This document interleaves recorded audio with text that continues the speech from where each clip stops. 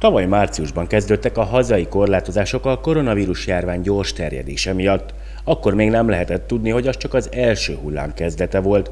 A pandémia most is tart, és szakértők szerint a vírus akár még évekig velünk lehet. Az oltások számának növekedésével viszont lassan ugyan, de elkezdődött a korlátozások feloldása.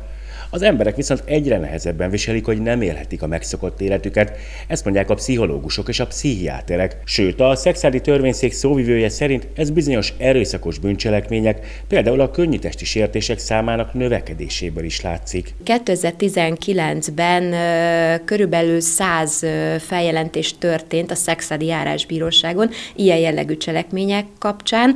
2020-ban, ugye tavaly a pandémia kezdete óta, azaz márciustól év végéig, végéig, illetve még az a pár hónapot beleveszünk a 2020-ba, ezek a feljelentések megszaporodtak, másfélszeresére nőtt a számuk, tehát több mint 150 feljelentés érkezett ilyen jellegű ügyekből. A bírósági szóvivő azt mondja, várhatóan a hozzájuk kerülő úgynevezett kapcsolati erőszak miatt indult ügyek száma is nőni fog a közeljövőben. Lehetséges az, hogy a pandémia alatt megszaporodtak ezek a bűncselekmények, de a nyomozati szak hosszúsága, a bírósági eljárásoknak a viszony viszonylag hosszabb ideje, most főleg a pandémia alatt, hogy nem lehetett tárgyalni, azt vetíti előre, hogy ha meg is szaporodott a számuk, ez majd csak a jövőben fog számokban megnyilvánulni. A kapcsolati erőszakot elkövetők egyébként akár 5 év börtönt is kaphatnak, könnyű testi sértésért pedig két év letöltendő büntetés is kiszabható.